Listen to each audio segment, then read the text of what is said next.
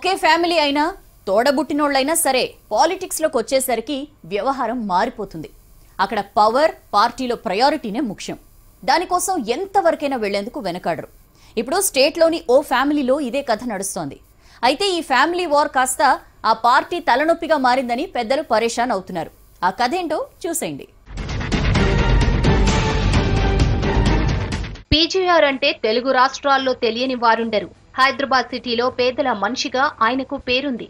అప్పట్లో ఆయన అనుచరులుగా ఉన్న వాళ్ళు ఇప్పుడు పెద్ద నాయకులయ్యారు. రెండు వేల ఏడులో పీజీఆర్ చనిపోయాక ఆయన కుమారుడు విష్ణువర్ధన్ రెడ్డి ఖైరతాబాద్ బైపోల్లో గెలిచి ఎమ్మెల్యే అయ్యారు. రెండు వేల తొమ్మిదిలో సెగ్మెంట్ల పునర్విభజన కావడంతో జూబ్లీహిల్స్ నుంచి పోటీ చేసి రెండోసారి ఎమ్మెల్యేగా గెలిచారు. తర్వాత రెండు వేల పద్నాలుగు రెండు వేల పద్దెనిమిది ఎన్నికల్లో వరుసగా ఓడిపోవడంతో ఆయన రాజకీయంగా యాక్టివిటీ తగ్గించారు. అయితే పీజీఆర్ కుమార్తె విజయారెడ్డి మొదట్లో వైఎస్ జగన్మోహన్ రెడ్డి పెట్టిన వైఎస్ఆర్ కాంగ్రెస్లో చేరారు. ఈ సమయంలోనే అక్క విజయారెడ్డి తమ్ముడు విష్ణు మధ్య మాటలు బంద్ అయ్యాయని స్థానికులు చెబుతుంటారు. తర్వాత ఆమె టీఆర్ఎస్లో చేరారు. ఖైరతాబాద్ ఎమ్మెల్యే టికెట్ రాకపోయినా ఆ తర్వాత కార్పొరేటర్ అయ్యారు. కార్పొరేటర్గా వరుసగా రెండోసారి గెలిచారు. అయితే ఈ మధ్యే ఆమె కారు దిగి కాంగ్రెస్ కండువా కప్పుకున్నారు. ఖైరతాబాద్ అసెంబ్లీ టికెట్ పై ఆశలు కూడా పెట్టుకున్నట్లు పార్టీలో మాట్లాడుకుంటున్నారు.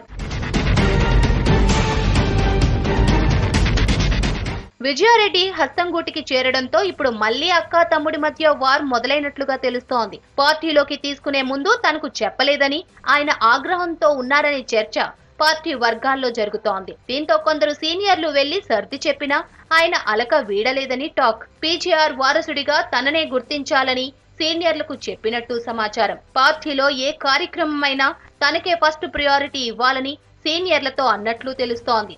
తాను యాక్టివ్గా ఉన్నానని చెప్పే అందుకే సీనియర్లందరినీ పిలిచి లంచ్ పెట్టారని చెబుతున్నారు.